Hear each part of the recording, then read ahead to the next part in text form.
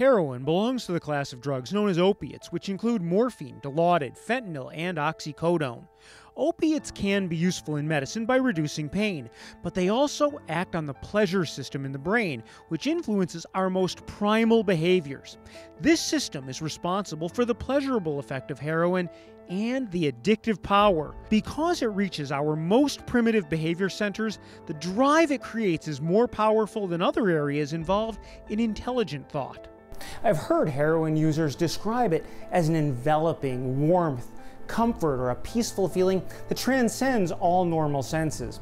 Now, often, users who would never dream of shooting drugs, they begin by smoking or sniffing heroin, but over time, tolerance develops. Opiates work by stimulating receptors in the brain and throughout our body.